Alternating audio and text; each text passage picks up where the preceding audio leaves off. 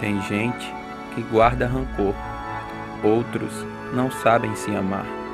Esquecem que ainda existe amor e com amor podemos perdoar. Andam tão perdidos em meio à solidão que não enxergam que o verdadeiro amor é o perdão.